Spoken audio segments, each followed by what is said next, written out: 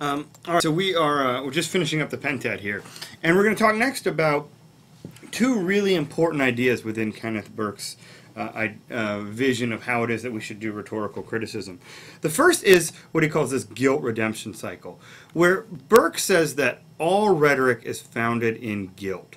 And by guilt, he means something really um, kind of bigger. First of all, we should pause here and say that one thing that Burke did a lot of was he used a lot of religious language. Um, and um, it was just uh, really a metaphor that he thought really uh, captured what happens within persuasion quite well. Um, when he says guilt here, what he means is any kind of negative feelings.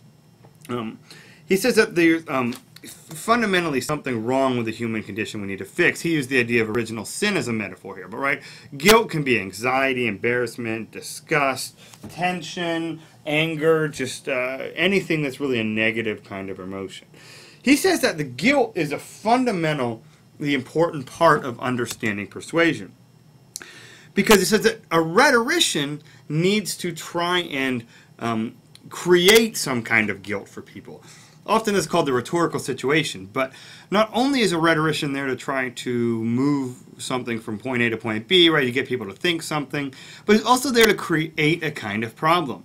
The rhetorician needs to identify what he or she thinks is wrong, and then you swoop in with a redemption, right? You redeem the situation as a rhetorician. Um, and this um, requires a kind of victimage. He says that there has to be someone to blame for our situations. It can be the rhetorician itself or it could be the audience, but one of the jobs of a rhetorician is to lay blame onto people as well. Um, and um, right, if you think about like a presidential campaign, for example, we get blame passed around all the time, right? Victimage is something that's just uh, um, pervasive in those kind of settings, right? Um, and so Right, like uh, maybe one thing to think about in your journal is who do you think tends to get portrayed as victims in these type of um, situations? Because some examples would be really helpful. Also, using this religious imagery, he uses God and devil terms. Which God and devil terms are terms that do not need to be described. They encompass everything that is either evil or good, and they're used to motivate an audience. Um, now, Burke says a rhetorician should not define these terms. You should not describe what they are. Um, so if we um, um, uh, try to think about like common devil terms that we might hear something right? Like terrorist for example is a devil term. When you break down like the definition of what terrorist is it becomes really kind of political in a way that it wasn't before and you risk alienating some of your audience. Or think of another devil term something like welfare state right?